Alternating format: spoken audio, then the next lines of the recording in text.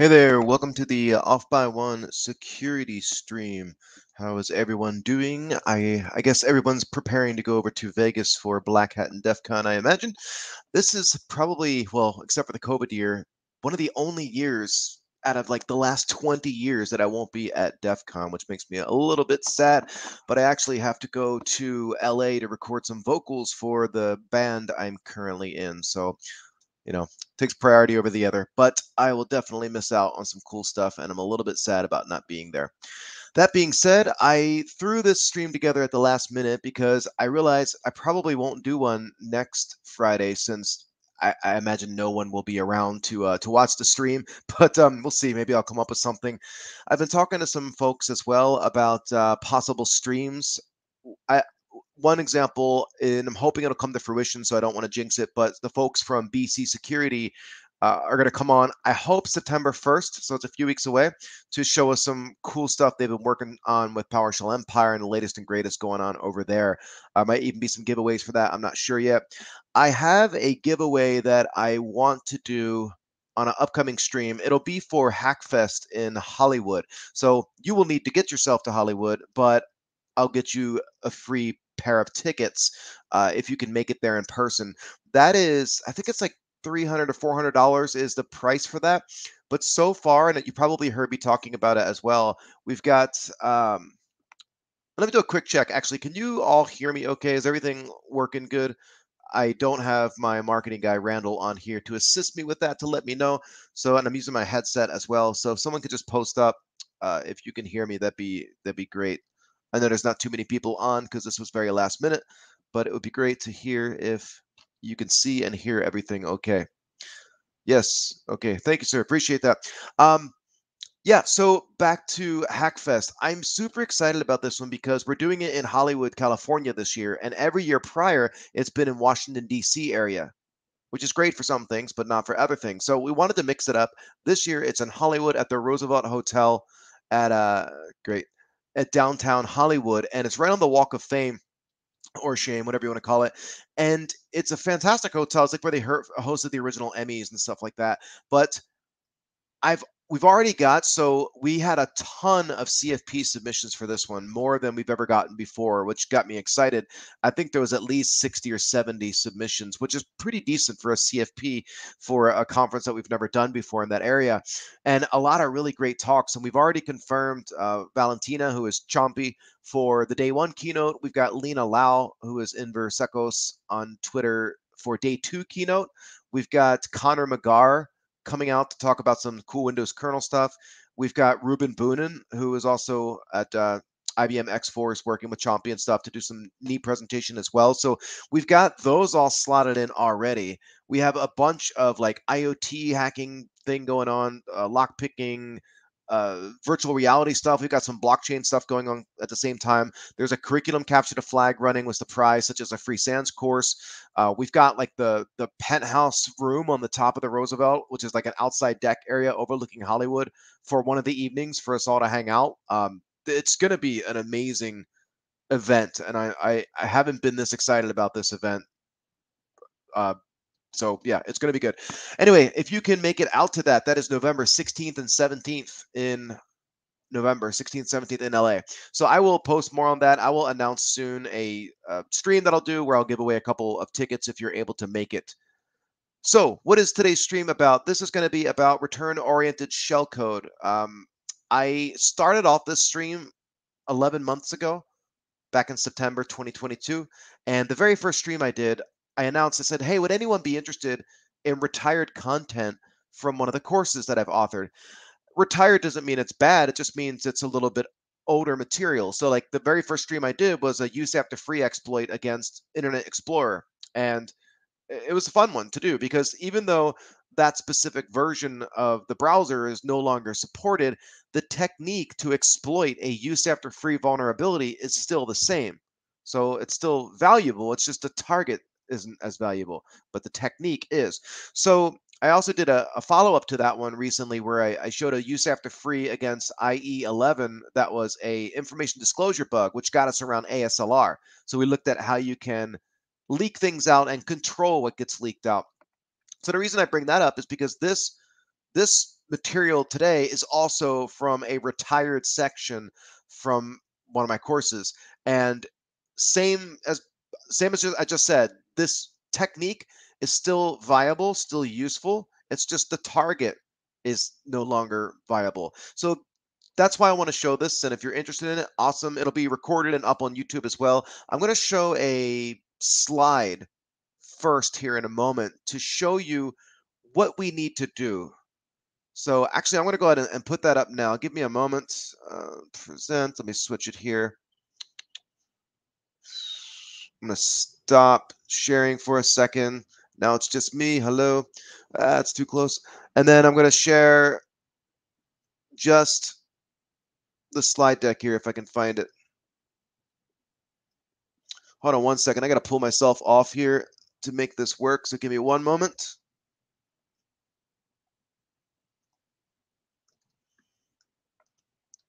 So we'll cancel this and I'll be back in one second.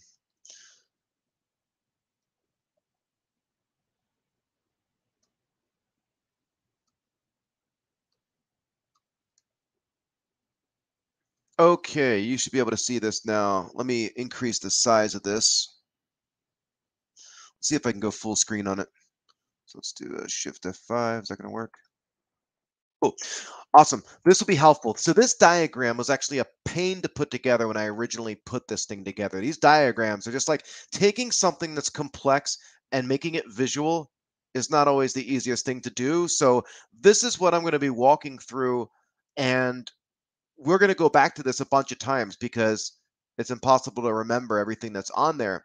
But this is basically showing you the order in which you need to put things when you're using this technique. Now, the first thing we need to do is get our vehicle to be able to use this technique, that just being a, a control of the process. So it's going to be a basic buffer overflow because that's not the point. We just need a vehicle to be able to use this technique. So the first thing we need to do is figure out where the vulnerability is. That'll be really quick. And then once we find out where the vulnerability is, you can see where it says gadget one, like right, uh, I don't know, right here, where I'm shaking the little mouse cursor. Gadget number one, that's going to be the return pointer overwrite. And we want to overwrite that with the address of the very first gadget that we want to use. And if you're unfamiliar with the term gadget, a gadget is a silly name for a sequence of instructions that are useful to you and it's aiding you in your attack. So what what we normally use return oriented programming for is if you're on a Windows system for example, we use it to set up the arguments to make a system call something like virtual protect or virtual alloc or heap creator, write process memory, anything that will allow us to change permissions in memory where our shellcode relies so that we can now execute code on the stack or the heap, which we shouldn't be able to do normally. So that's what we typically use ROP for. This is going to be different in where let's say that you are exploiting a target process running on a machine, and this particular vulnerability doesn't allow for the space or any other way in which you can get your shellcode into the target. So let's say again, you are exploiting a target process running on a system, and for whatever reason, you can't get your payload in there. It's, it certainly happens. So the question would be Is it possible to then string together code sequences or gadgets that mimic or emulate what the shellcode would have done. So, for example, the very first thing we need to do in a shellcode is zero out the accumulator register. Then we need to search through executable memory, so the code segment, to find an XOR the accumulator register instruction, followed by a return, preferably. So this is return-oriented shellcode. We could do jump-oriented or other techniques in the whole oriented programming technique space. But uh, for this one, we're keeping it simple. This is just like our first time, at least on this stream, looking at how you would approach return oriented shellcode. So we're going to rely on code sequences that mimic a portion of what our shellcode would have done had we been able to get it into the target process. So again, for whatever reason, we're pretending that there's no way we can get our payload onto this system in, in the process. So therefore, we want to string together short sequences of code that mimic our what our shellcode would do. Now, yeah, we might be able to find a one gadget or something like that, but that's that's not the technique we're looking at today. This technique is ROP shellcode. I've definitely had to use this technique multiple times on various Linux executables. Um, I can't name the specific vendor because that'll be a violation of the agreement. But this one particular vendor had a product that, and being careful in my words, had a product that stated and claimed that they are able to add additional entropy with ASLR at the at the code level, like at the function and, and even block level. So think about that. ASLR normally is randomization of the stack, of the heap, of the libraries, and other segments in memory, making it difficult for an attacker to know where something is. So the randomization typically is limited by obviously if it's 32 bit or 64 bit, we've got more entropy in 64 bit, but also we need to maintain segmentation. So we can't randomize the most significant bits. We also have to worry about boundary and alignment, so we typically don't randomize the lowest nibble or byte. So the more bits that we're reducing uh, decreases, of course, the randomization or the entropy. So that's that's all fine and good for stack and heap and all that, like like we're talking about. There, there's also in Linux another thing called PI, right? Position independent executable. It's uh, you've probably heard of that protection before. So just because we've got the flag on for ASLR and procsys kernel randomized VA space, great, we've got that on. That's randomizing the stack and the heap and the libraries. But what about the the binary itself, the code segment of the binary? That's not going to be randomized based on that flag. You have to compile it as a position independent executable, a PI. Okay, so this example vendor that I'm referring to, think about, again, being careful with my words, think about code that needs to run and control special environments. And by that, I, I mean, think about shipping, like to ports. We're talking about supply chain, like physical supply, shipments, shipments of these container ships coming into port, the code that's running on those things, or airplanes, or trains, or military equipment. You see where I'm going with this? I'm talking about those types of applications and processes that most of us never get access to. A lot of it's industrial control type environments as well. So, in a lot of cases, again, being careful with my words, in a lot of cases, they will statically compile that code. And they'll bring, uh, by statically compiling it, they're bringing the library code and stuff with it. Everything's compiled in. So, what this particular vendor promises is randomization at the block level even. So there's a shim that gets compiled in a compile time and randomizes the every time you start the process, it re-randomizes all the blocks. So even if the idea is even if you were to find a memory leak that it won't work because normally in a information disclosure bug like a memory leak, we would leak something out that's at a static relative offset from the base address of whatever module it's coming from. Like in the example I showed in the browser recently, it was it was a, a virtual function table. So anytime we got that virtual function table to leak, we knew that we could always subtract the relative virtual address offset to recover the base address of that DLL. What this particular vendor is saying is, well, now you can't do that because we're randomizing the code every time you run the process. And therefore, if you can get something to leak, what's getting leaked out is not going to be the same each time. So it sounds like a pretty interesting idea and and tool. The problem with it is you couldn't randomize the libraries. So all these dependencies that are these shared objects that are getting compiled in, you couldn't randomize those unless you were to actually go and recompile those libraries with this special shim. And and that would actually introduce additional problems because it's it's fine for the function itself. I'm sorry, not the function, but the program itself, the main binary executable itself, to, to do this randomization at the function and block level. But when you get into randomization of custom compiled libraries and and things are expected to be at certain place, It, it just breaks. So why am I saying all this? Because in that environment, in a particular engagement, I was able to use this technique that we're talking about here, return oriented shellcode, because everything was like on that target system, and there's no way for you to get shellcode on it. So it was like a special. Another example of when I've seen people use this technique: voting systems, voting machine hacking. Was, you were, there's no way for you to have gotten your payload on there. Um, yeah, it's it's going to be recorded. I record all these; they go up on YouTube afterward. All right, so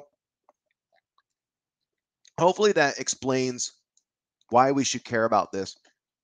Now I'm going to do a 32-bit example just to keep things easier um, as far as like the addressing and such. Now there's a couple of issues here. I I don't the stream I don't want these streams to take 8 hours. So I try to like focus on one particular thing at a time and even then it goes into an hour to 2 hours sometimes. So I'm reducing the noise or the things that might get in our way. Like for example, ASLR is on, but I'm actually statically mapping a couple of things, which is not far from reality. Oftentimes, notoriously on Windows, applications come with their own DLLs. And if you run a tool like Mona or on Linux CheckSec or something, and you look at the 20 DLLs that this particular binary needs, not all of them are always randomized. Um, that's what's gotten a lot of applications into trouble many times. An infamous one was the Java Runtime Environment 6. MSVCR71.dll. I'll always remember that DLL because that was the DLL that allowed us to disable dep basically effectively by changing permissions and it wasn't randomized, so you avoided ASLR. And that thing lived on for years. It was a beautiful DLL for exploitation purposes. So anyway, let's get back to the point here. First thing we need to do is find a vulnerability, which is a stupid buffer overflow that we're going to use to then use this technique. Now here's the interesting part. We need to find the gadgets, which again are short sequences of code to, to complete a part of my overall objective of popping a shell, a privilege shell. And the very first thing we need to have happen is we need to zero out the accumulator register. Why do we need to do that? You will see in a moment why we need to zero out the accumulator register. Just know for now that's the first thing we're doing. So that would be where it says gadget number one. And you can see it says that overwrite the, we overwrite the return pointer with gadget number one. Gadget number one needs to point to an address in memory that's executable and holds XOR EAX EAX followed by a return. The stack pointer would advance now to gadget number two, and we need to do something else. What do we need to do? Gadget number two, we need to do a pop pop ret. I know those of you who have exploited Windows SSH chain issues, uh, pop pop ret is a technique we or a gadget that we use for that, but this is not that we need to do a pop pop ret. Okay, what are we popping into ECX? The first thing we're popping into ECX is going to be 0B, 0B, 0B, 0B. Now, the reason that we need 0Bs there is because 0B is the system call number for execve on Linux. So the Linux syscall tables are static, 32 and 64 bit, and we need to get 0B into the accumulator register at some point because when you invoke a system call, an, an int 80 system call in Linux, it expects the system call number to be in the accumulator register. So just know for now that we're popping 0B, 0B, 0B, 0B into ECX register.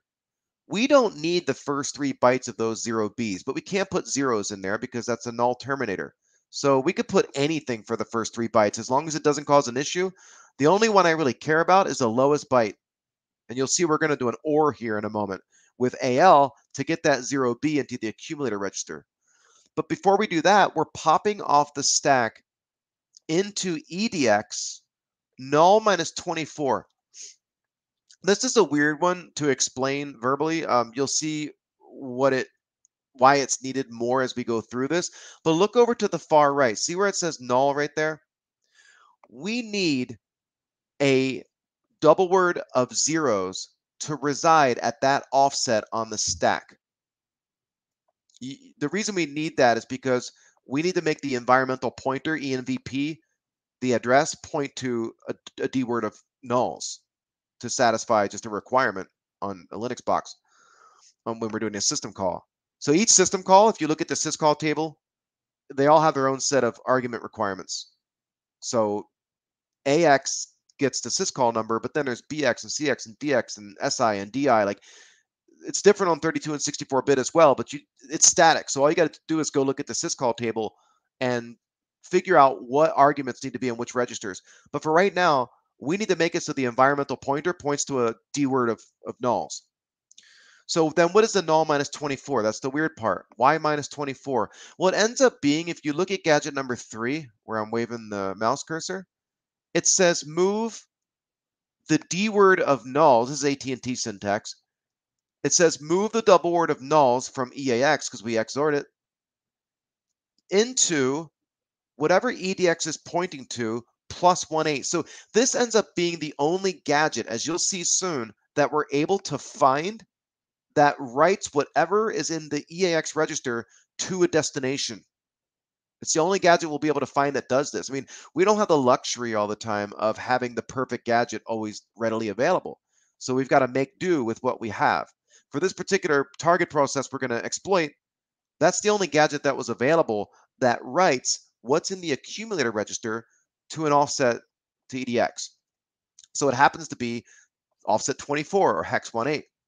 So that's why null minus 24 is the address that we need to pop into EDX because the gadget is going to write to EDX plus 24. If that doesn't make sense, you'll see it as we go through this exploit.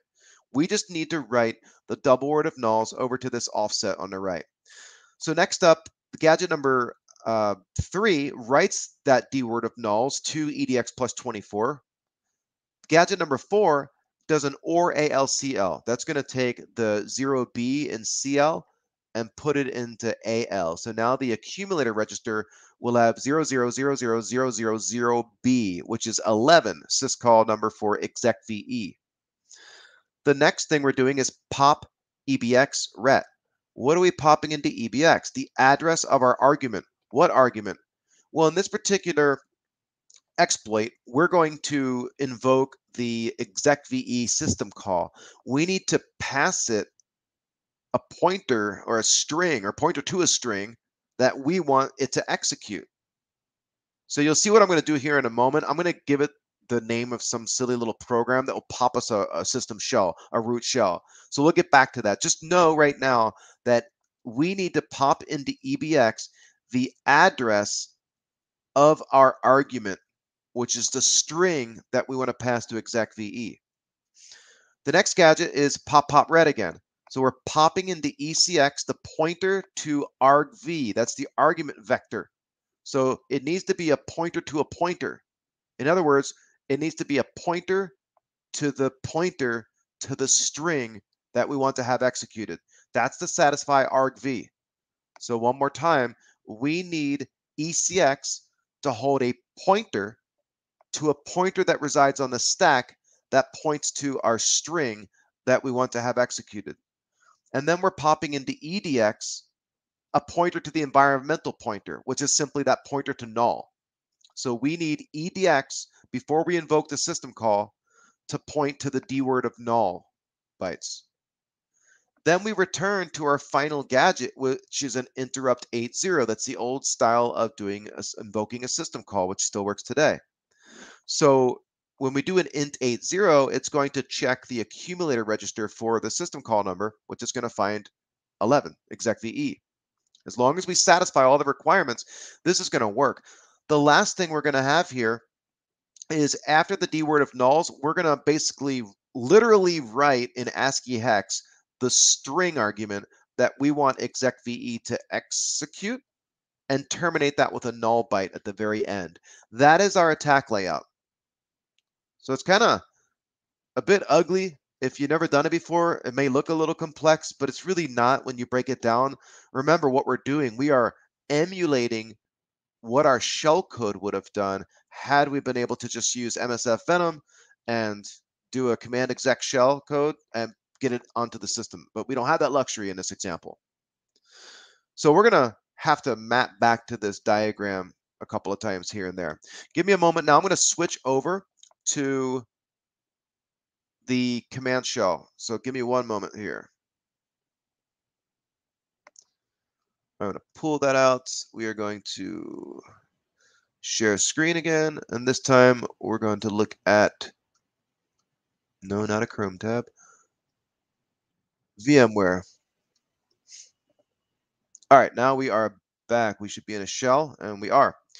Cool. So I've got three shells open up, and they're ready to go. I'm going to need three because one of them is going to be my script window, so we can create our script.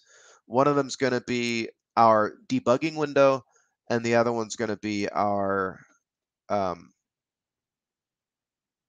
window to like hunt for gadgets and stuff like that. So we need three windows. First thing I want to do is actually run the vulnerable program so we can see where the problem is. It's called Sec760 ROP. And if we check it, you can see it's uh, set UID bit is set and we're running as root. And that's, of course, something we'd want to exploit because if we can find a vulnerability and exploit it, it runs into the context of the owner, which is root in this case. Great. So we have to find out where the vulnerability is. When we run this program, it simply says usage, give it a file name. Okay, so let's create a file. We'll say touch, I'll call it input. And let's say echo, actually I'll say Python minus C print A times 20. And we'll put that into our input file. And now if we run ROP shellcode or Sec760 ROP with input as an argument, it simply dumps out the file contents. Uh, question says, is this technique the same or similar to using ROP to bypass DEP? If it's different, what's the difference? Yeah, I went over that a bit earlier. I don't know if you maybe joined a little late, but um, when we're doing, when we're using ROP to change permissions in memory, like to get around DEP, we are setting up the system call to something like virtual protect or virtual alloc or memprotect, whatever operating system we're on, and we're just passing the arguments so that the address where our shellcode resides will have its permissions changed to read, write, execute. This is different in that we, and, and typically we would do that change permissions where our shell code resides because we're able to get our shell code on the target process. In this example, we're pretending that we can't do that. What if it's the case where we can't get our payload into the memory of the target process and have it executed?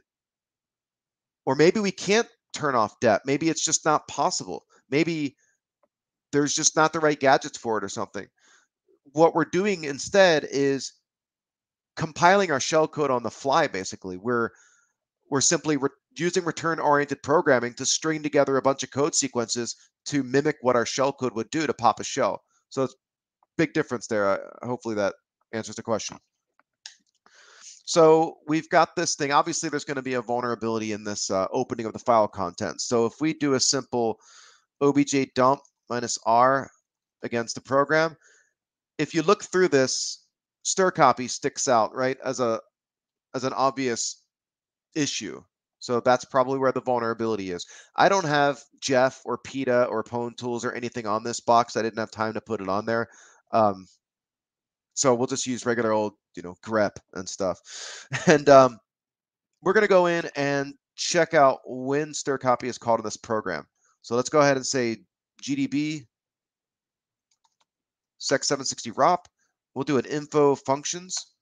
And we do info functions. Obviously, anything with a PLT on the end is a dynamically compiled uh, function because that's our dynamic dependencies. The procedure linkage table and the global offset table is similar to like the import address table on Windows, right? Where if we dynamically compile this and don't statically compile it, we've got to link this stuff at runtime. So anything with PLT is linked at runtime. When we continue down though, you can see a bunch of internal functions like static stack, main, map the libc, move, overflow, usage R. So there's a bunch of stuff in there that's internal. And you can't you can strip internal functions, but you can't strip dynamic dependencies. Because how else would the process be able to let the dynamic linker know what it needs to link and what the dependencies are? Okay, so let's disassemble the main function first here. So disassemble main. And in here we see a call to usage, a call to fopen. We keep going down, printf. Keep going down, we see a call to fget, fclose. At the very bottom, we see calls to map the libc, static stack, and move. So let's check out move. Another thing we could do, we could set a breakpoint on the call to strcpy inside the procedure linkage table. Since it's dynamically linked, it always has to go through the PLT to do that call. So if you set a breakpoint on the PLT address, you'll always break. But um, this is not a complex program. So let's just look at the move function. Inside here, you can see there's a call to overflow. So I intentionally named these functions so that they're meaningful. Obviously, in the real world, I would strip this stuff out. So call overflow. So let's disassemble overflow. In here, there's our call to strcpy. So the easy way to find out the buffer size is to simply look at the argument being passed to strcpy for the destination, which is directly above it. Here we're saying load the effective address negative 40 from the base pointer into EAX. So this is AT&T syntax. So we're source followed by destination operands. So we're loading the effective address that is negative 40 hex from the base pointer into EAX, and then we're writing it to the top of the stack, and that becomes the argument for the destination for strcpy. So that's our buffer size, hex 40. So we could say print 0x40, and you can see it's 64 bytes. Uh, we could have done that in our head, of course. So 64 bytes is the buffer size. This program has no canaries. You can see it has no canaries because we don't see a call to stack check fail. Like I said, I want to focus on just the technique here, which is return-oriented shellcode. If there were canaries, we'd have another problem in our way. So we know the buffer size. What sits between the buffer and the return pointer? If it's 32-bit, the frame pointer is always going to be there. So we got to do another four bytes for the frame pointer. So it's going to be 68 bytes before we get to that return pointer. So let's verify that. We're going to drop to our shell, and I'm going to say Python minus C print A times 68, which should get us to the return pointer, plus I'll just put BBBB to overwrite the return pointer. That will be um, 42424242 and we'll send that into input.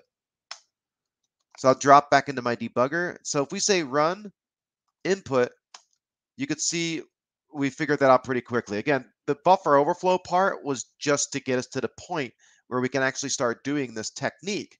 That is the return-oriented shellcode technique. But real easily, we found the buffer size. Um, how realistic is it nowadays to get an exploit working against browsers, Apple, Microsoft, Android? I never hear much anymore. What's your input? Um, yes, I talk about that stuff a lot in these streams.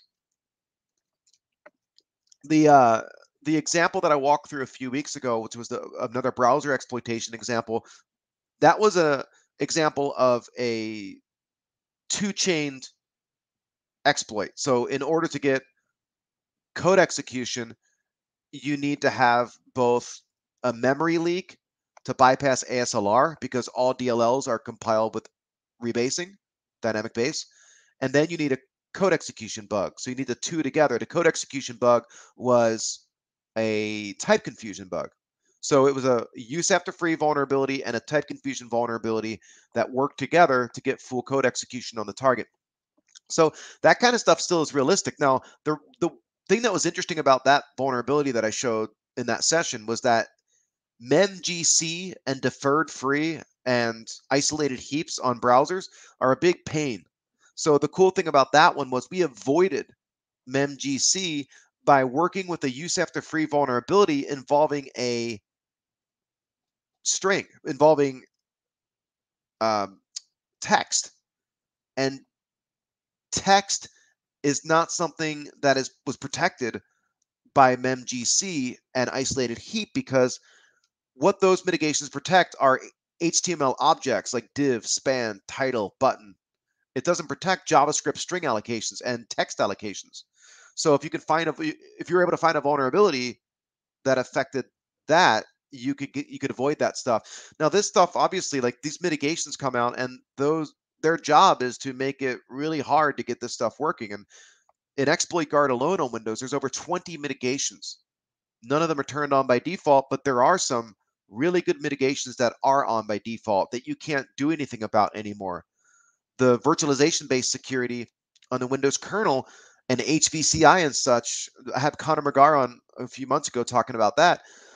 It's uh, makes life very difficult. The the day of Windows kernel code execution is far and few between. That's why everything switched over to data attacks, your your write primitive attacks, not worrying about code execution. Like with token stealing, the way we used to do token stealing back in the day a few years ago was by executing your shell code that would steal the token of PID4, which is system. But now you can't typically do that, so you have to use data only attacks. So working with uh, write primitives. But we're not going to go down that rabbit hole right now. If you check out the prior streams, you'll see we, we hit on all this stuff. But yes, it's definitely harder nowadays, but you see exploits still coming out all the time. Um, look at Apple. There's just another critical vulnerabilities that were patched just the other day. And, and there were remote code execution exploits in the wild, which is wild. Yeah, cool. All right, so let's get moving or we'll never get finished. So we've got control of the instruction pointer now. That is our vehicle to begin ROP shellcode. Now, what do we need to do? We need to find the gadgets. That's the first thing I want to do is find those gadgets that we saw on the slide. And the first one was XOR EAX EAX followed by a return, right? Okay, so what do we need to do this? We need we need to know the memory address of a module, a shared object that's not being randomized, or we need an information disclosure vulnerability. I could easily have rigged this up to where you need to utilize the fact that something like um, uh, a sorry, I'm thinking of the exact function I want to use. It could be something. I've dropped to a shell real quick. Let me see something real quick. So let's do obj dump minus r.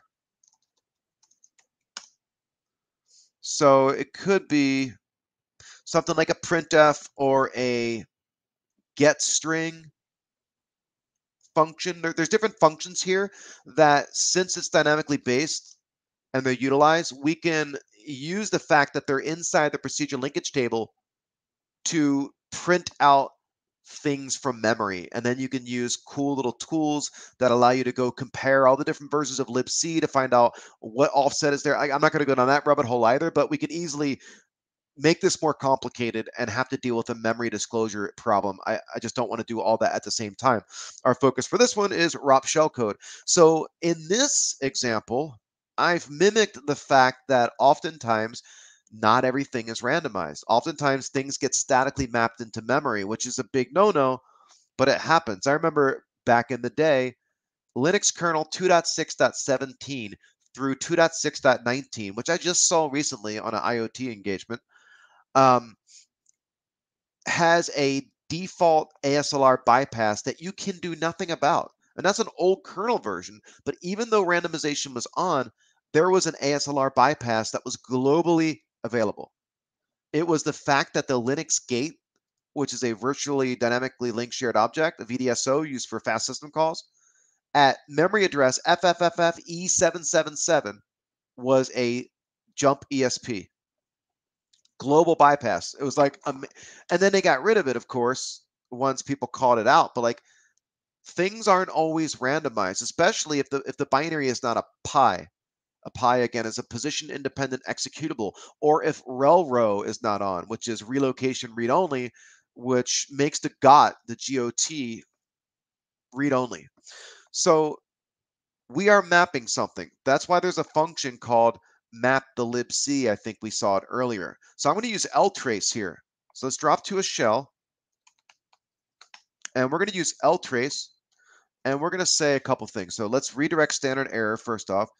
2 greater than ampersand 1. And then we're going to run the program. SEC760 ROP input, and then we're going to grep for nmap, because that's what's going to map the memory. Let's do that. Minus e mmap or minus e read. And then we're going to say minus b2.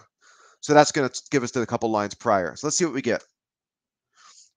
All right, right there, we get mmap. So here we got open. It's opening a, a library called libply.1337, interesting numbers, .so.2.0.0. So that's a shared object. So libply is a real shared object. This is one that's libply.leet. So I'm intentionally mapping this thing into the process. And then you can see it's being mmapped to this address. That's important it's being statically mapped to that address even though ASLR is on. It's also the case that the stack is being statically mapped. Remember, we're not dealing with ASLR bypass in this example. We're just looking at the ROP shellcode technique. If ASLR was on, as I said before, you would need to use the appropriate function to be able to get around that, which is not hard typically in these types of vulnerabilities. I'll do a session on that in the future if you want to see it. But um, we see that the the library is being statically mapped.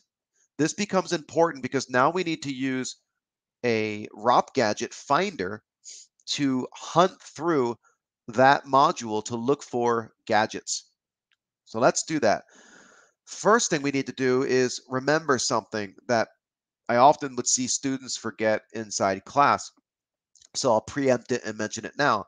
That is, since mmap is mapping that library, you don't want to go looking for the gadget and validating that it does exist inside the debugger until after that module has been loaded. It sounds silly, but people make that mistake all the time and it's a waste of time.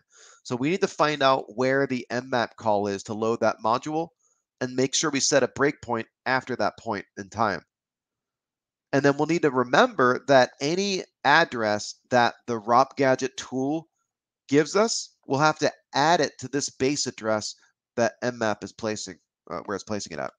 So let me think here. We've got that address. I'm going to leave that there for now.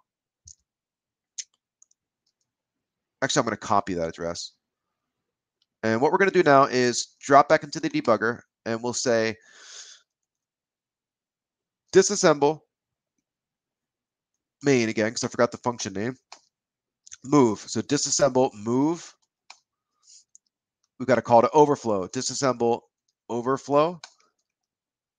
And we've got stir copy. So I missed something else. We go back to main at the very bottom here. There's map to libc. So we need to set a breakpoint after that thing happens so that we can do the validation. So I'll just set a breakpoint here on the call to static stack because at that point in time, I'll know that the module has been loaded. So let's grab that. We'll set a breakpoint, break. Normally I would never do this without a helper tool in GDB, an extension, but I don't have one. And I will say run input. Okay, so we hit the breakpoint. We are at the moment in time when there's another call happening. So we know that that module is now loaded. So that address that we used before, if I say examine eight instructions,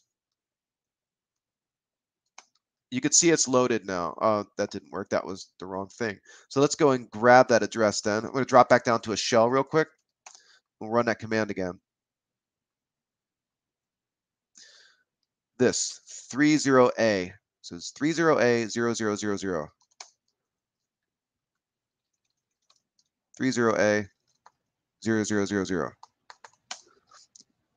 You can see there's something there now. Nothing interesting yet, but that's cool. The, the library has been mapped so we can see that memory. Now we need to go use the gadget tool. Now on this virtual machine, I only have a not so great ROP generator, but it works. The syntax is wonky because that's the word it makes me think of, but we'll get it working. So I'm in the folder rope me. That stands for Return Oriented Programming Exploitation Made Easy. I think it was from Long Lee from VN Security back in the day. So there's a tool called ROP Shell, and ROP Shell says simple interactive uh, right? ROP shell. So we can generate, we can load, we can search. The first thing we need to do is generate the ROP gadgets from that libply.leet library. So if I actually drop out of here and we do an ls, I already copied that over. So I took that, if we if we grab this library here and we say locate it. So I got it from here lib libply. So that's where it comes from. So what we need to do is then generate the gadgets from that. So we're going to go back into our ROP shell, and now we'll say generate, paste that in. It's thinking about it. I don't know why it's taking so long. There we go. 817 gadgets were generated. Now we need to load those gadgets. So load that dot .ggt because it said that's what it called it right there. So we've got 817 gadgets loaded. Now here's the annoying part. The search command is kind of weird. It's a weird syntax. I'll I think I remember how to use it, but we'll we'll get through it. The very first thing we need to find is an XOR EAX EAX. So I'm going to say search XOR EAX. That didn't work. So let's do comma didn't work. What if I do it with that? There we go. So search XOR EAX comma question mark. We found now any result that it shows, it means there's a return instruction after it. It doesn't show it to you, but if it's showing you a gadget, assume that there's a ret afterward. But let's validate it anyway. So I'm going to grab this 3F14. We're going to go over here, 3F14, 3F14 and I'm going to look at two instructions starting at that address. And there we validated it. XOR EAX EAX followed by a return. That is why I set the breakpoint after the library is mapped so that we can go validate that what the ROP tool is telling us is actually true. We need to start building our script now. I want to get a nice template set up so we can start doing this. So I'm going to create something called, uh, I don't know, ROP exploit.py. All right, now we're inside and we need to start this up. Let's um, import, I can't spell today, struct.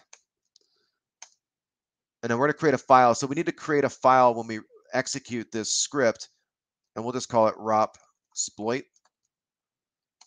And now we need to create our, um, actually, let's do the bottom first here. So let's do a payload equals a times 68 bytes. Remember, it was 68 bytes to get to the return pointer.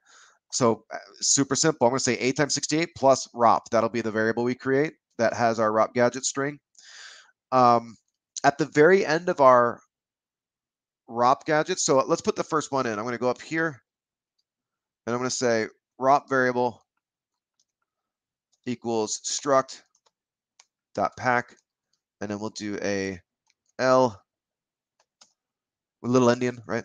0x. Now this is uh, a 030A, and then what was that address? 3F14. 3F14. So that is the very first gadget. Very first thing we want to do is overwrite the return pointer with the gadget that does the XOR EAX EAX. Simple. Now, at the very end, the very last thing that we need to do, if you remember, is put the string in that we want to have executed by execve. So let me explain this one real quick. If I go over, oh man, I got too much going on. Let me just quit this debugging session real quick. So inside here, there is a little program called scode1.c. And in my 660 course at SANS, we look at creating Linux shellcode, and I'll show this to you real quick. This is a little tool that once we create our shellcode, we put our shellcode right here. And this little pointer play magic down there at the bottom actually at runtime converts S code into an actual function that gets called and it executes what, whatever's there. So in other words, it's a shellcode testing tool like SH test if you've ever used that. That shellcode that you see highlighted is nothing more than shellcode to pop a shell. So I'm going to drop out here and we're just going to run it. So if I say scode1.c, it should pop a shell, or not C, but we got a shell, but we're not root, right? We, the way that I've made this is I want my command that execve executes to actually run that little program so that if it's running under the context of a set UID root binary, we'll pop a root shell, right? And then we won't have a dollar sign, we'll have a, a pound sign. So that's our goal is to have execve execute that string. So what I need to do is at the my my ending variable here, the end of ROP needs to be that. It needs to be the name of that program, scode one, followed by a, a null byte at the end of it. So let me think about that. We need to be dot slash sc0de1 with a null byte on the end. I don't remember all that off the top of my head. So let me look at ManASCII. So I'm going to need a dot slash, see here. So a dot is 2e. So we need DE, 2e, 2f, 7, 3, because that's going to be S code. It's going to be 6, 3. I can do all those in my head. So S code 1, 1 is 3, 1 in hex ASCII. So I've got it now. So the thing I didn't know was going to be dot slash 2e2f. Cool. Let's get out of here. 2e2f. So let's do ROP plus equals. And here we're going to say 2e, 2f, that's my dot slash. And then 7, 3 is S. And then C is 7, 3. Oh, no, shoot, I got that wrong. It's 7, 3, 6, 3, I mean. 7, 3, 6, 3 is a lowercase c, because 6, 1 is a lowercase a. Sorry, I'm talking this out loud because I'll get lost. 6, 3, F is going to be O. Okay, F. So 6F is going to be O. 6-4 is D. 6-5 is E. And then 1 is 3-1, followed by a null byte. So that is going to be my full string. That's what I want to have executed. So that's why that's at the end. Um, I need to set up some other stuff though. If we go back to the number of ROP gadgets, I need the XOR EAX EAX. Remember that? Zero out the accumulator register. The next gadget I need is a is a pop pop ret. Where we have to pop the address of where we want to write the null D word minus 24 into ECX. Then we've got to pop into what is it? Is it EDX? We got to pop the double word of 0B, 0B, 0B, 0B. So I'm counting the number of gadgets I need and then the arguments that I actually need. So let me start building this out. ROP, we don't have the addresses yet, I'm just going to put placeholders in here. So struct dot pack. I'm actually going to copy this part so I don't have to type it every single time. Helps if I put the plus sign in there. And then L 0x. All right. I'm going to copy this part so I don't have to type it over and over again. Okay, so the first thing we need to do is pop. We need to we need to get the next gadget, which is the pop pop ret. We don't have that yet. So I'm going to close this out and I'll put a comment in here. Pop, pop, ret, gadget. Up here is the XOR EAX, EAX. Did I spell struct? No, it's stir cut. You didn't. You never heard of that uh, function? I was kidding. Thanks for telling me because that would have been bad. I would have had many, many typos. Struct, not stir cut. All right, let me grab that. Okay, so I've got that. The next thing, so now we need to pop pop ret. So we got to pop off the address of what was that one? We need the no. First thing we need to do is pop the double word of zero B's into ECX. Then we need to pop in the address of the null minus 24 into DX. That's right. So let's paste this in.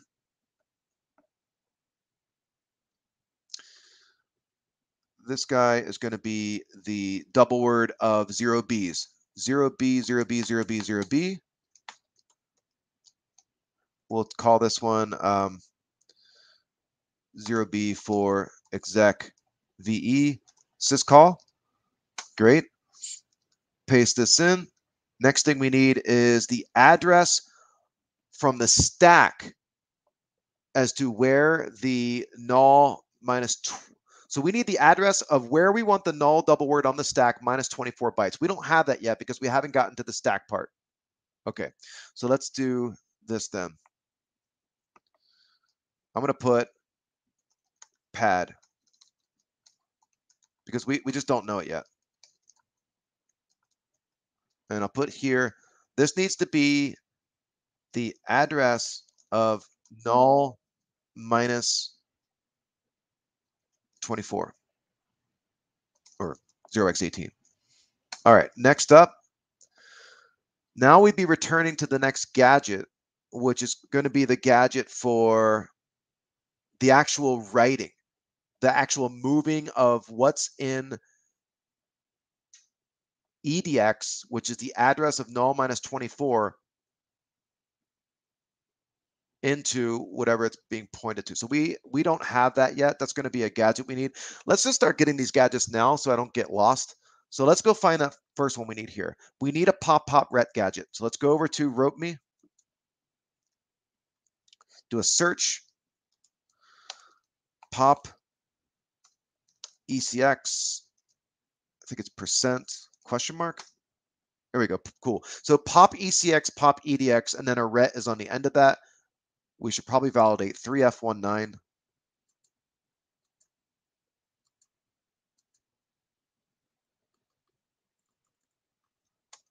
Three F19. So I need to break um, just think here, disassemble main at the very bottom, break on the address after mapping of the libc 804 8831. So I'm really testing the demo gods today. So this is dangerous here, but hopefully we'll get through it. It's a little bit painful, takes a little bit of time, but hopefully it'll go smoothly. So now let's validate that address, which is going to be 3F14. So examine three instructions 804 3F 14, I think. Nope. It wasn't 804. It was the address of the libc, which now it's slipping my mind. It's 030A.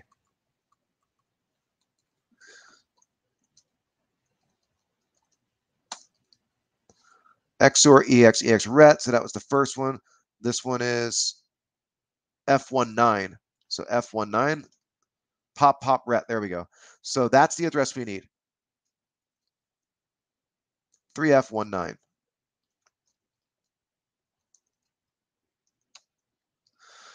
Great. We've got that gadget now. We're good. So what, remember, this is a gadget's going to pop, pop, ret. So pop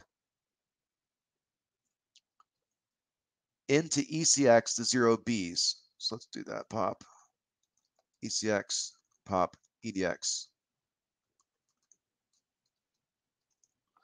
Great. So it pops the zero Bs into ECX, pop into EDX. This one we can't get yet because that's going to be the stack minus 24, and we're not looking at the stack yet. So now let's move to the next gadget then. The next gadget we need after, we need to actually write. So we need to move the double word of nulls onto the stack into the right position. So we need to get that argument that's loaded into EDX, which should be fine. So we need to move to EDX the null double word, right? Let's see if we can find this. Search, move, it's really weird syntax, EDX plus 18. Is that going to work? Can't find a default source file. What? Search move. Does it need spaces?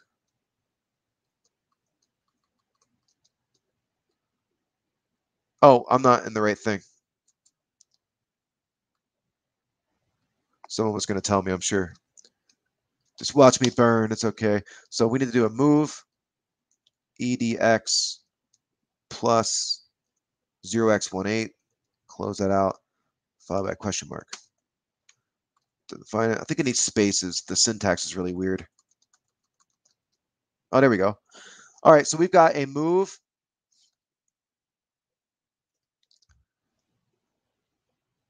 Let's verify this. Uh, 3F1C. 3F1C. Move. There we go. Move EAX, which is the double word of yeah, I did not make a sacrifice. You're right. We've got the double word of A's, and it's going to write it to the address in EDX plus 24 bytes. So that works. 3F1C.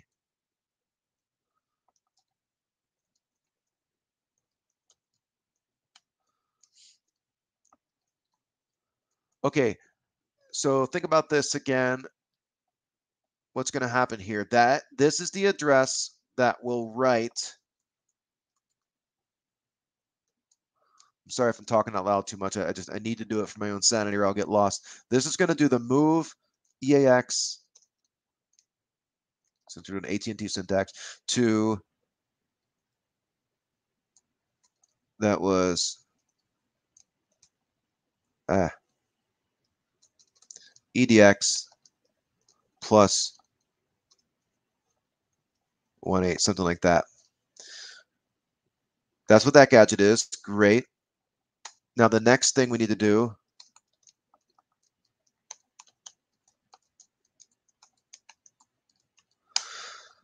What's next? So next is, let's not get lost here. If we are now using the gadget that writes the null double word to edx plus 24, we need to return to the next gadget. What was the next gadget? Does anyone remember off the top of their head? Let me look. You're not going to be able to see this, but I'm going to look on my uh, diagram real quick because I forget what it is. So we need null minus 24 gets written. The next thing we need is a or ALCL. Right. So the next thing we need is a or ALCL. That's to get the 0B from CL into AL, which currently has a null double word. So we need to find a or ALCL. Let's do that. Search or ALCL. Perfect. Found one. 3F20, it's validate. Oh, it's right there below it. Perfect. 3F20, it's got a ret afterwards. So 3F20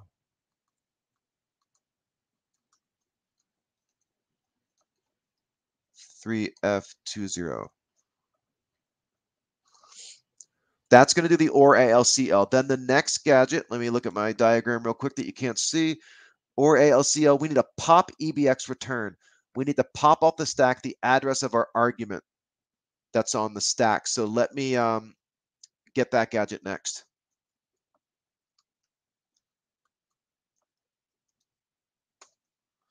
Rop plus equals struct dot pack L and then 0x pop EBX return. So let's go search.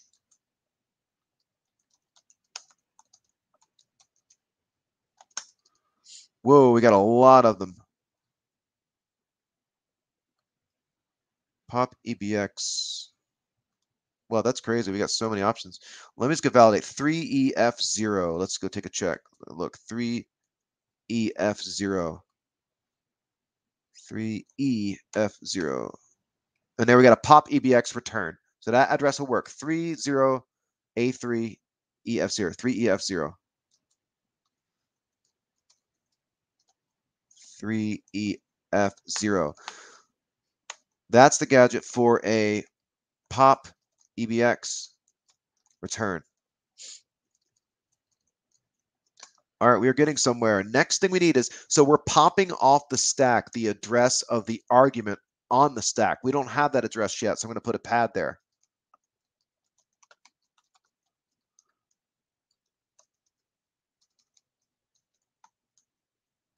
We'll get back to that one. This needs to be the address of arg to exec ve. ROP plus equals. What do we need now? Next, we need another gadget. I think this is the pop pop ret gadget that needs to satisfy the requirement for the environmental pointer and the the argv, the argument vector. So let's get this going. Struct dot pack l and we need the address of a pop pop ret. Let me just double check on my diagram. Pop EBX, yep, pop up ret, pop ECX, pop EDX ret. We found that earlier. So we can just use this exact same one from earlier. Perfect.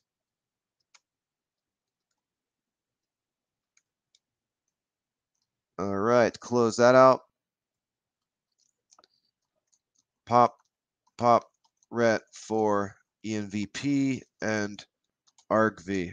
I know it's not great comments, but it's good enough. Better than no comments. So what we need to pop are going to be two stack locations that we do not have yet. So ROP plus equals struct.pack L pad, and I'm just going to copy this again so I don't do it twice.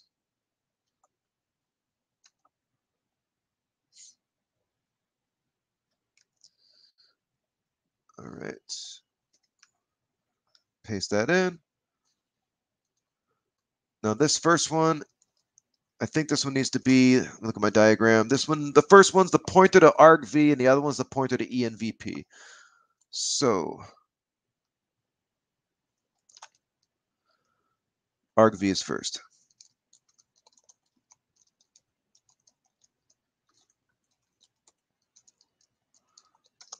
pointer to envp. So remember, argument vector is a pointer to the pointer on the stack where the argument resides. We're going to have to find this out in the debugger. So pointer to pointer. The environmental pointer needs to be the address of the null double word because we need envp to point there. And then I think we're at our last one, right? Because our last one is going to be the interrupt 8-0. I'm pretty sure. Let's um I'm going to check my diagram here in a second. Let's take a look and find search int 0x80. And there's one right there. So 3F23. 3F23.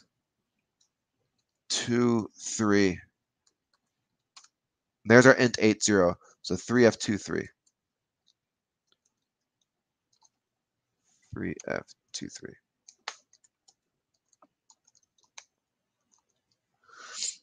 That's um I think that's everybody.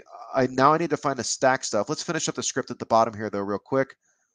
Our payload A times 68 plus ROP. We've got ROP all sorted there, barring no uh, typos. So I'm going to say payload so we'll just create a stupid variable x equals open file with write permissions. Does that look right? x dot write our payload. Um, just print something out.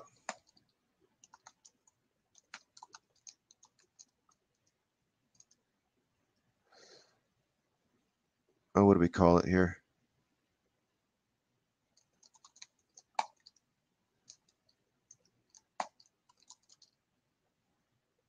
Is that going to work? Oh, we'll find out in a moment. Then x dot close should be the end there. I think that's good. Um, let's let's find out if we have a typo in the script first. So that would be ROP.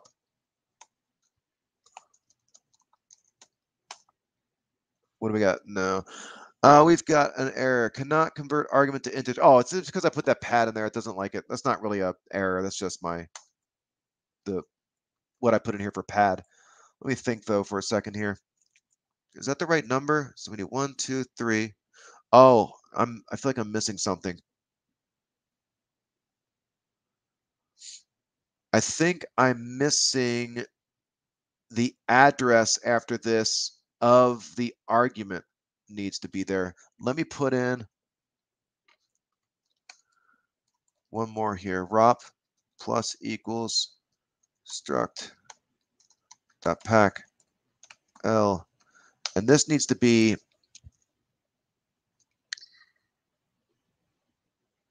this needs to be the address of the argument. I'm pretty sure that's what's needed there. Let me look at my diagram.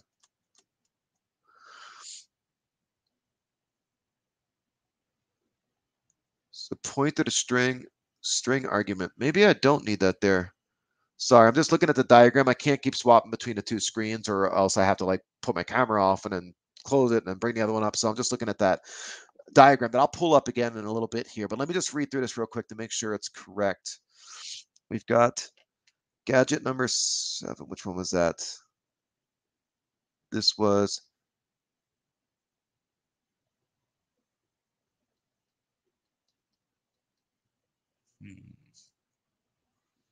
Let me look at my script. F23. And I feel like it's the address pointer to the string. Oh, that's what I think it needs to be. I think I oh, I need one more double word to be the the pointer on the stack to the string that's pretty much right next to it. So let me add that in real quick.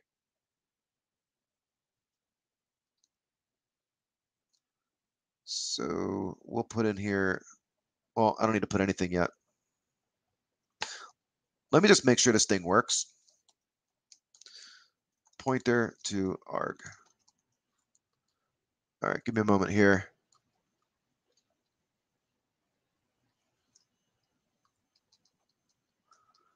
Um, I know I could do this through VM Magic, but I'm actually thinking while I'm doing it. So this time it's giving me is actually helpful. All right, so I feel like something's missing, but let me make sure this, this thing works. All right, so it created it.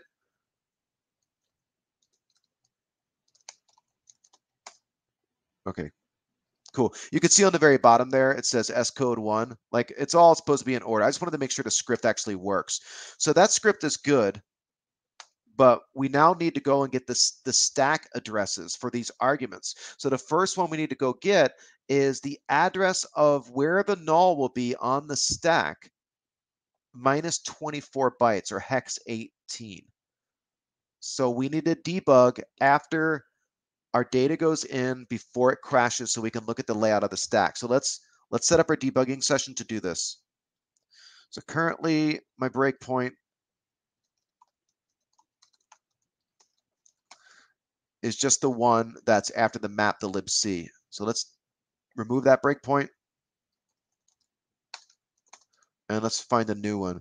So we'll do it after the call to open or the get.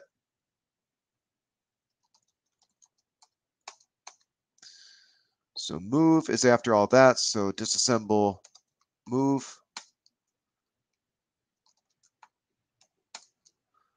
Overflow. That's our stir copy call. So right here is where I want to break. That way I'll our, my data will be laid out and we can look at the positioning and put all the addresses in to our script. All right, run. Now our input needs to be what the ROP script actually created. So I do need to change my input to that. Let me check and see what I called it real quick. It is called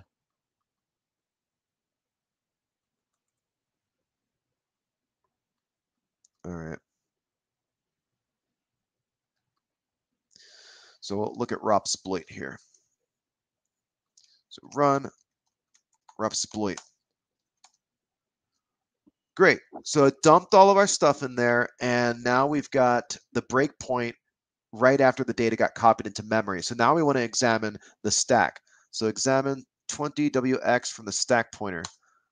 There's our A's, and stuff's getting cut off after that. So you can see the um, for once it's getting cut off because I, I changed that variable to be zero and it doesn't like that. So let me go fix my script so that we can actually see the layout the way we want to. So what it didn't like before is that I put the um, strings in there because I had pad, right? So let me set all that back up again, and then we can change what we need to change. I forget the find replace thing off the top of my head in VI.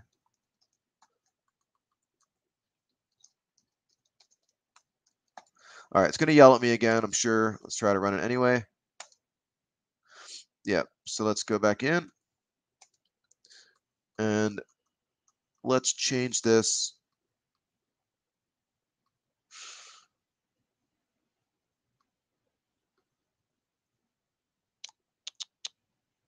No, I'm just going to do it this way. I know there's an easier way to do it, but I don't care. I'm going to go, no, that's not going to work either because then it's not going to put anything. I'll comment it out. That's what I'll do. Yes, I'm talking to myself. Don't worry about me. I'll be okay. So let's um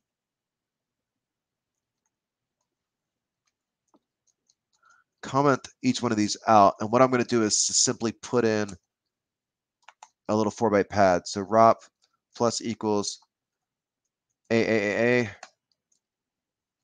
And let's just grab that each time. Copy that, because we're going to have to do these one at a time, like I said before. So anytime we see the addresses or the, the pads is where I need to do it. So let's go here, comment that line out, paste that in. Same thing here.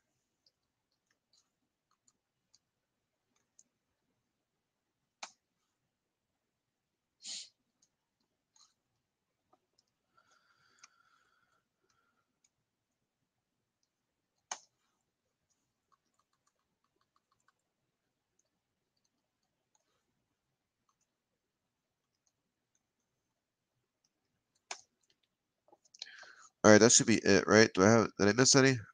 No, it looks good. So let's save this, run it. All right, we created our file. Let's go look into debugger. And now look at the stack. Okay, much better. Now we can see everything. So once we get here, this is going to be our, our return pointer overwrite. If we do a BT for backtrace, we can actually see what it is. So see how that lines up, 3F14, 3F14. So that's our XOR EAX EAX. This is going to be then our first pop pop ret, and we're popping zero Bs. And then this is our first one. This is the first one that we need to determine on the stack. Remember what it needs to be. It needs to be the address of the null minus hex 24. So the null, let me look at my diagram here. The null is actually right before the string argument to exec VE.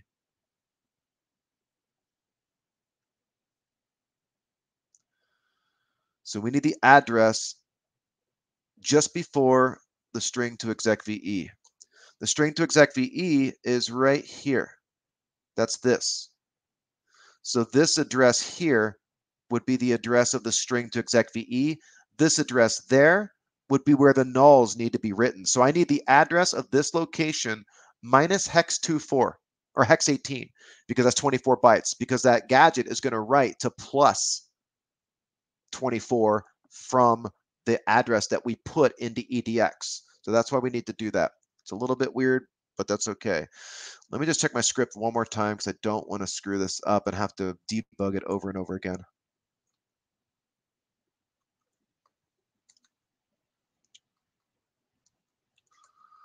So just checking through things.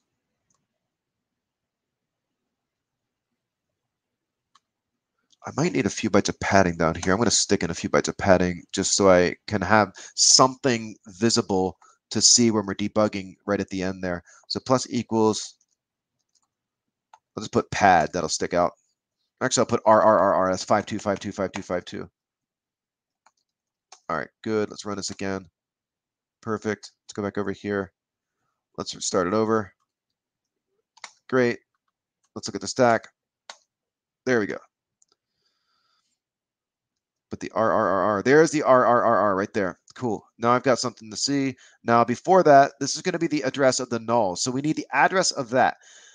Eh, 5FFF or 1120 is is this byte right there. Then this would be 21, 22, 23. So we've got 20, 24, 28, 2C.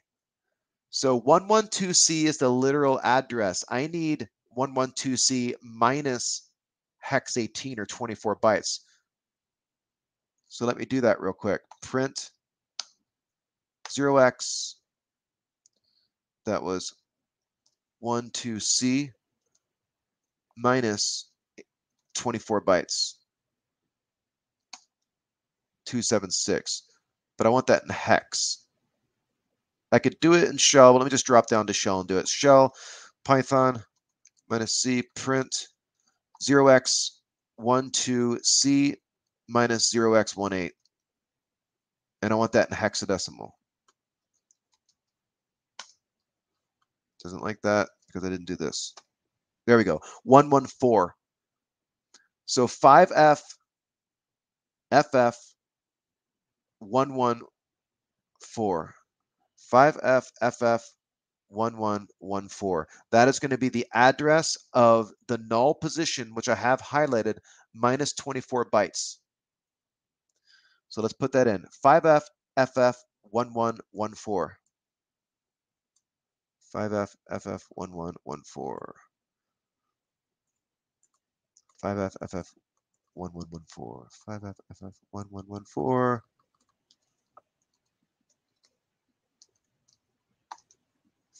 5FFF1114. That will be the address. Let me get rid of this one.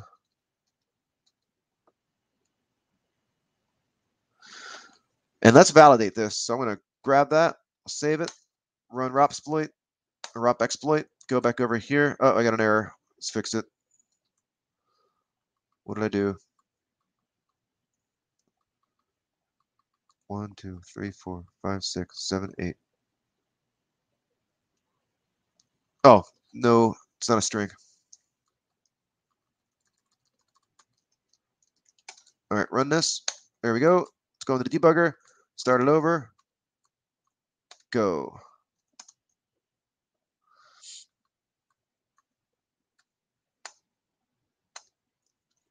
Okay, so what we've now done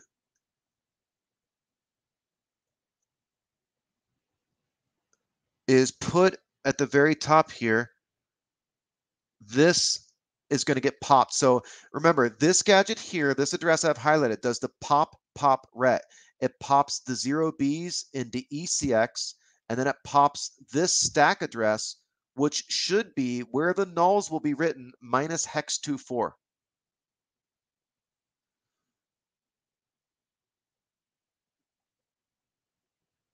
Let me think out loud again which that needs to be the pad.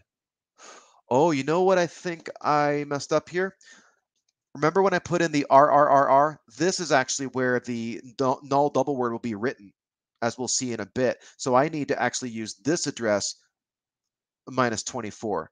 I use the address above it, so I just need to add four bytes to it, and I should be good. So let's go over here and fix that. Add four bytes to this guy. Perfect. Run this. Try that again. All right, so this address here is the address of the RRRR because that's where the nulls are going to be written, minus 24. That's the address I've written here. The next one, so we've got the next gadget here, which is the OR ALCL. We've got the next gadget here, which is the POP, I think it's the POP EBX return. No, no, no. The next one is the move. It actually writes the double word of nulls onto the stack. The next word is pop EBX ret. This is the next argument we need to use. We need to pop into EBX the address of the string, if I remember correctly. I'm looking at my diagram. So we need to pop into EBX the address of the argument, which is the address of the string. Exactly. So this right here is where the string begins. So that'd be 5FFF1134. That's the address I need, 1134. So I'm going to grab this.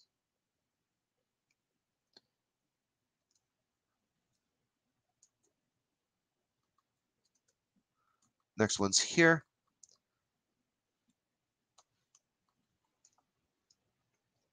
One, one, three, four.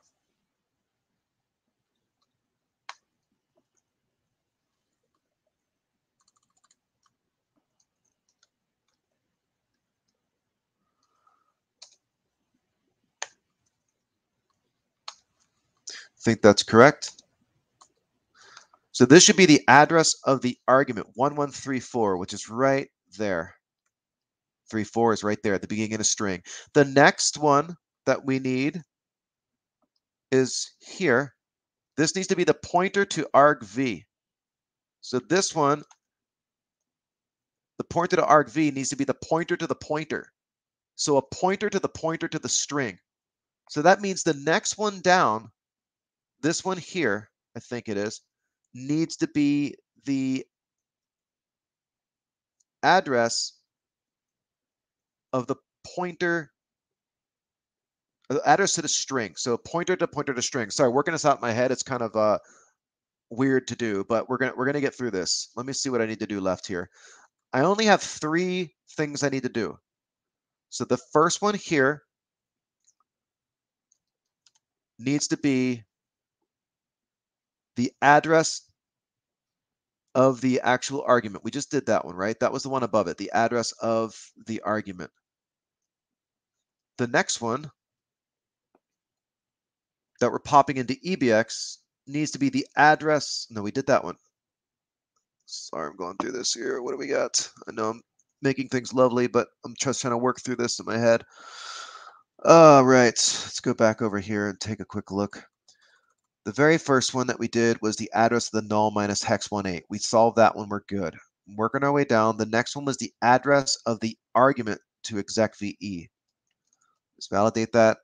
That is the address of the argument. Yes, we did that one. The next one is the pointer to the argument vector, which is a pointer to the string. And then right after that, the environmental pointer. Okay, I've got it. I've got it. We're good. So this one here needs to be the address of the argument, which is going to reside down here. So see on the right where I put the comment pointer to argument, we need to make this the address of the argument that is the string on the stack. We just did that above, didn't we? Yes, so we can just take this address here and plop that in down here.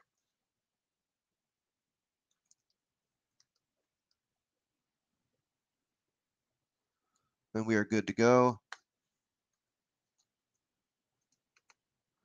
So now we need this to be the address of this location where the pointer is on the stack. So we got to go back to the debugger. Right here, the address of this is what we need to put in there. So this is 11202428 112C.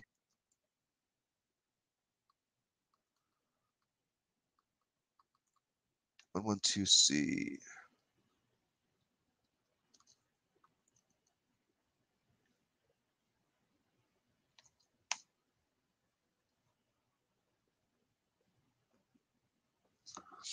All right. Sorry, I saw a comment there. I took a look real quick. All right. Uh, where are we at here? We need this one.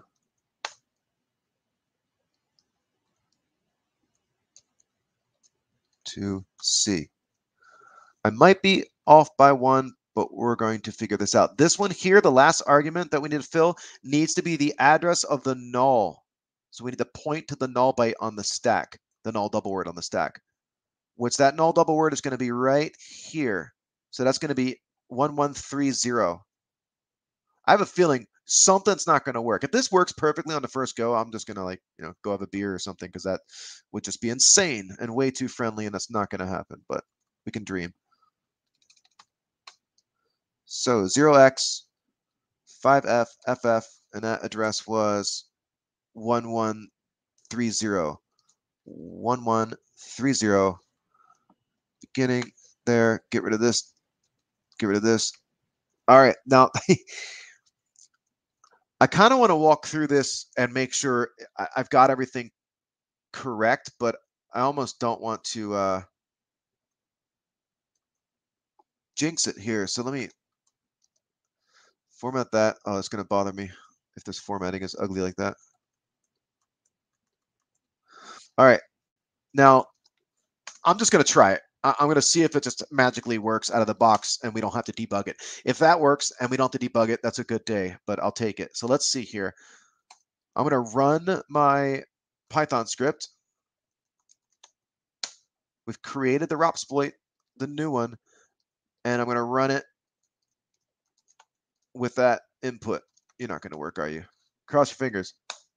Ha! It worked first try. Whoa, that was lucky. I was like so off and confusing myself talking out loud that I didn't think there was any chance that that would work. But we got lucky. It worked right off the bat. Um, cool. So let's, I'm going to set a breakpoint so you can actually see this execute one step at a time. And that way it'll be, it'll be more clear since that talking got a little confusing, I'm sure. So let's drop out of here. I'm going to set a breakpoint on the very first gadget, which is the XOR EAX EAX. So let's do that. That's going to be this address here. So we'll set a breakpoint there, which is the return pointer overwrite. All right. Delete, break. Yes, break on that address, which should be the XOR EAX. Double check. It is. Awesome. And then we'll just run it now.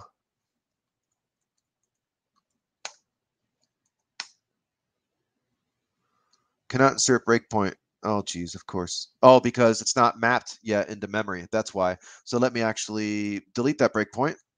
And we can't set it until the, the module is loaded. So let's go ahead and say disassemble main. First, we're going to have to break on any address after the mapping of the libc. So let's break here. 804,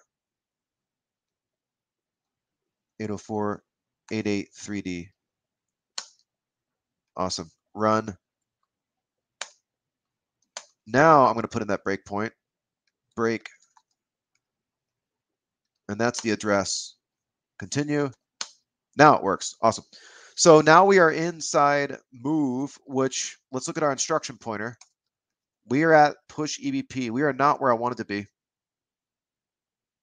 Will it continue? No, it just does not like that address for some reason, even though it is there. Uh, you know what I'm going to do? I'll, I'll break on the ret. That's that's how we can get around this. Delete, break. Yes, we'll break on the return out of the vulnerable function. So disassemble, overflow, right there. That'll work. So let's do uh, break 804.85E3. Run.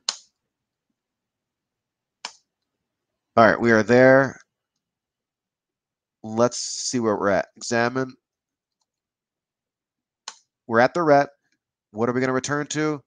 BT. We're returning to the address of the XOR EAX. So if I say step instruction, we are we are there. Sweet. All right. That was annoying. Now we're at the XOR EAX. So we know what's going on here. Right now, info reg EAX.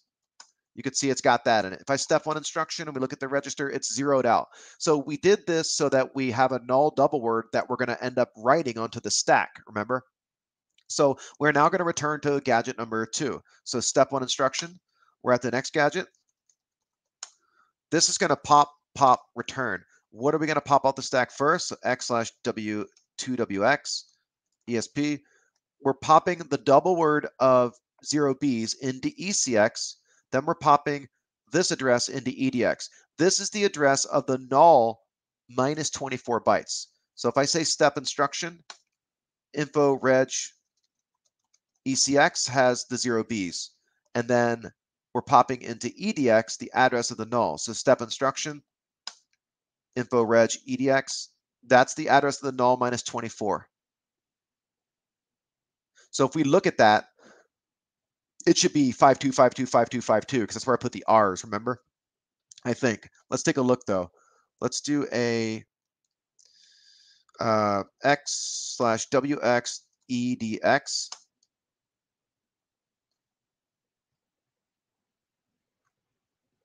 plus 24. No, yeah, 24. Yeah, there we go. See, it worked. So that shows us that we've, we've got it organized correctly. That address that got popped into EDX is the address of the R's on the stack minus 24 bytes, which is where we're going to write our zeros. So if I go to the next gadget, where are we? We are at, now we're going to write, so inside EAX, you can see it's a double word of nulls. We're going to write that double word of nulls to EDX plus 24. So right now, if we look at EDX plus 24, it's that step one instruction. Now it's a double word of nulls. So we got those nulls written to the right spot. Perfect. So next up, if I step one instruction, we are at the OR ALCL. So if we look at ALCL, you can see what's going on there. If I step instruction, now look, now the AL has the 0B instead of the 0. So that's going to be the system call number for exec VE when we do the int 80.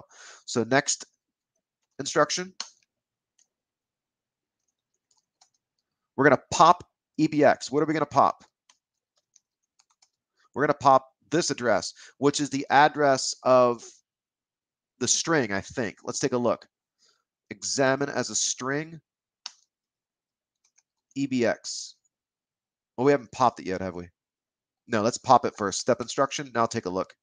See that? So that now is a pointer to the string, which is that little program name that we want to have executed as UID 0. So that's where we're getting our root shell. So great. Next, write a return, step instruction. Next up, it's a pop pop ret again. This is where we're popping the address for the environmental pointer and the argument vector. So the first thing, if we look at what's popped into ECX,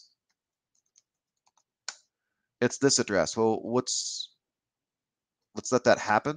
Now what's there?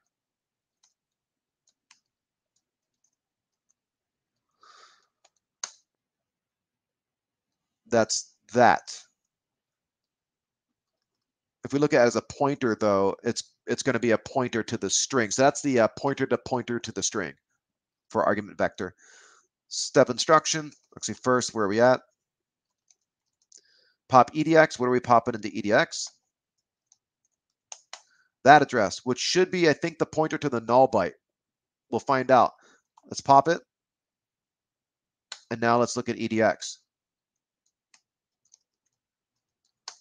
Yep, it's a pointer to the null. That's for the environmental pointer to point to the stack position that contains the nulls. So right now we are probably at the ret. So we ret. Where are we now? Int 80. So if you look at the registers, we've got everything we need. We've got the system call number here. We've got the pointer to the argument vector, pointer to the environmental pointer, pointer to the pointer to the string. Like everything's all set up now. So if we continue, obviously uh, we got a root shell. It's not a root shell in the debugger, but we see that it worked. So that is that is what I wanted to show you. I'm going to drop out of here. Give me one moment. I'm going to bring up that diagram again real quick. So I'm going to stop sharing and then I'm going to share one more time. This is that thing that I was referencing a bunch of times. There we go.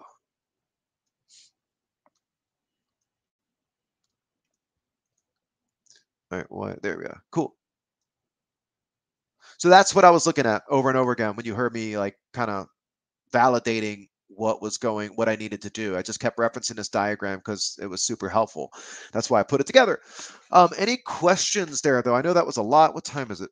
Wow, it's an hour and 40 minutes. So sorry for taking so long. Um, if you wanted that to be quick, but sometimes this stuff takes time. And luckily, we didn't have to go debugging it because that would have been really annoying but useful, of course. But any questions, I'm happy to answer it. Um, I'll wait out for a couple minutes. But aside from that, just a reminder, I probably won't be on next Friday, but possibly uh, if I do, I'll probably pre-record something. We'll see.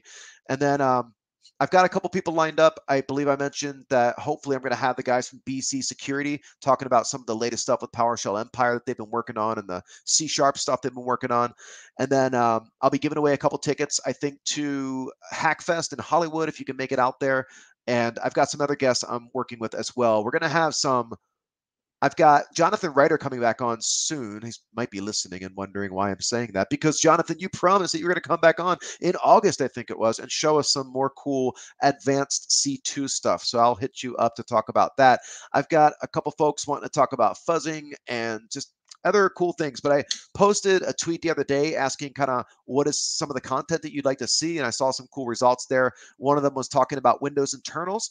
So I'll do a session coming up pretty soon where we'll walk through Windows internals um, a bit. You know, we'll probably take an hour to two hours walking through just kind of how things work. Uh, that'll be a pretty heavy section as well, but that'll be fun too. So other than that, have a great weekend. If you are going to DEF CON and Black Hat, I'm jealous. Have fun, and uh, we'll see you on here next time. Let's see. Uh, wait, why don't you create an exploit development course for beginners? Advanced user reasonable price. Yes, everything's expensive. I know it's it's it's tough. I mean, training is always complicated. I remember the very first course that I took, I paid out of pocket. It was a $3,000 CCNA boot camp for Cisco. I wanted to be a network engineer. And I remember I took a loan out. I'm not saying you should do this, but I remember taking a loan out and then paying that thing back. Luckily it paid off, but yeah, it's it's pricey and that's one of the reasons I'm on here doing this, but SANS gives away a ton of free resources and a lot of opportunities. Um, if you haven't taken a look, one option is you can try and sign up for uh, being a facilitator, and I think it's like one third of the price of the course and you get to take the class. And once you're in that club, a lot of times I just saw one the other day, they posted up saying, Hey, last minute need for a, a TA or moderator, and you get to take the class for free. So sometimes opportunities like that show up. There's been a lot of uh, investment and such into uh, veterans, uh, helping veterans get training for free and scholarships, as well as uh, there's been some with uh, women in technology and security going on there. Uh, there's a lot of aptitude testing and such going on with various schools, identifying people in high school and college to get them scholarships as well. So there is some cool stuff like that. Um, there are certainly some courses out there from Udemy and others. I don't really know much about them. I haven't taken them, but they're certainly available. There's a lot of the intro stuff too is out there on the the net. If you look at what NahumSec has done and uh, Security Tube, I guess over the years, and there was one, I, not going to top of my head, someone very recently, I can't believe I'm not remembering the name, turned into a a training program now. I think there's a ton of free courses still, or a ton of free videos still out there, but I think they're monetizing it now, but it's still relatively low cost. Um, how far did I get with networking? I got my, I did a CCNA, CCNP, CCIE written and then failed the exam and then got mad. Um, that was back in the two day exam when you had to do the, the day two troubleshooting stuff, which is pretty miserable. Um, yeah, I'll, I'll, I, you know what I'll do? I'll put together a session where I'll, or maybe I'll just post it, a list of resources if you can't go and take a class, especially on the more introductory stuff. I'll try to compile a list of good resources where you can kind of walk it yourself and, and get to a certain point. Obviously, when you're going to classes, you are getting the instructor's perspective on this stuff, the ability to take what's in a PDF document and then actually verbally explain it and patch and fill in all of the gaps and answer questions that you might have and and actually run into some problems like you saw us do today. Like you run into some problems you got to troubleshoot it you got to fix it. Like all that stuff's incredibly valuable and that stuff more you know comes from the classes. But again i'm going to keep doing these streams and having folks on and i'll just keep taking suggestions on stuff that you want to see. I just did a session with david bombal uh, a couple weeks ago. I think he's going to post it next week and it's on just basic buffer overflow exploitation, some more of the introductory stuff as well. So we'll just keep going and, and keep letting me know what you want to see, and I'll keep trying my best to get it up there. But um, yeah, thanks again, and we will see you next time.